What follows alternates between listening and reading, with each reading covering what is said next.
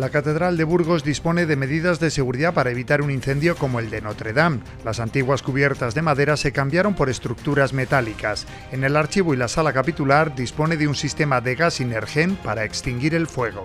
Ha actualizado todo el sistema de protección contra incendios, todas las instalaciones, de tal manera que ahora mismo sería un, pues, algo realmente casi, casi muy improbable que llegara a ocurrir en Burgos.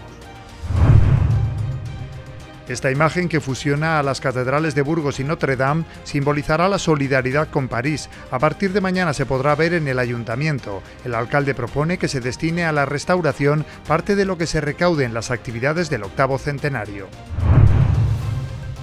La ocupación hotelera en Burgos se sitúa estos días en el 60%, pero a partir del jueves santo los establecimientos de la ciudad estarán al 90%. Los hosteleros insisten en que es necesario mejorar la promoción turística.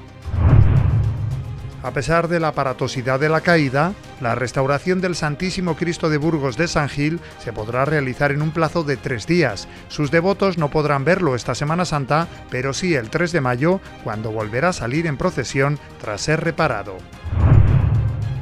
La cofradía de Nuestra Señora de la Soledad tampoco podrá liberar este año a una presa. El Consejo de Ministros ha rechazado conceder el indulto a una reclusa que ya había cumplido gran parte de su condena. La patronal burgalesa FAE obtiene el Premio Ciudad de Burgos en la categoría de Desarrollo Sostenible. El jurado ha valorado su proyecto de ventanilla única del tercer sector que trabaja en la búsqueda de empleo para personas en riesgo de exclusión.